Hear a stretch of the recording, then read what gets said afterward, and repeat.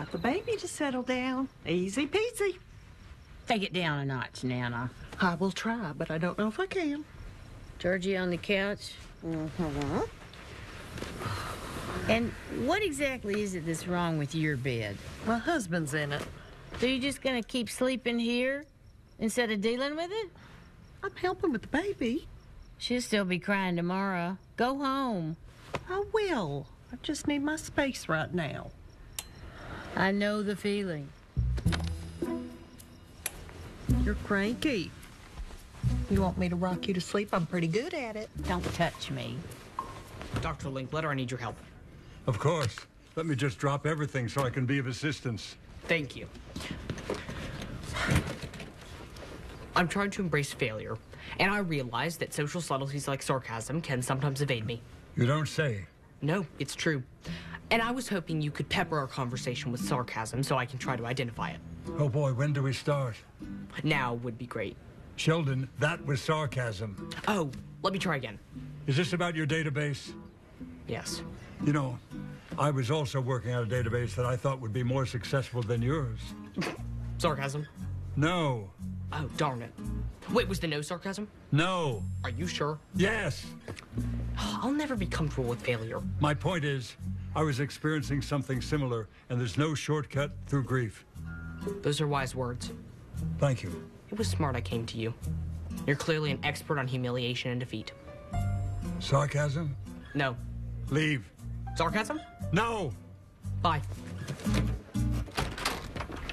Go to your room. Fine. And you're gonna apologize to Mrs. Wilkins. It's not her name anymore. Can you believe her? Well, maybe this wouldn't have happened if you were around. Are you really trying to blame this on me? I'm not the one sleeping across the street. I'm here with our kids. So you want to get into this? Let's get into this. What is going on with you and Brenda? Nothing. It doesn't seem like it. Well, you're honestly saying that you don't light up every time Pastor Rob's around? Maybe I do. Nothing ever happened. I wouldn't do that.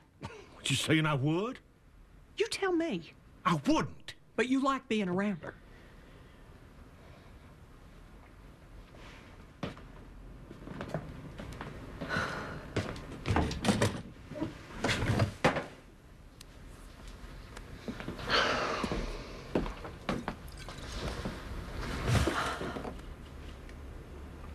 What happens now?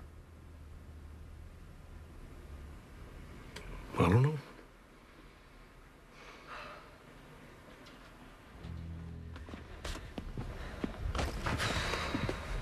What are you doing? Oh, um, I'm just gonna be staying at Meemaw's a little bit longer. Okay. You all right? No. What's going on? my database, I've I've never failed like this before, and it frightens me.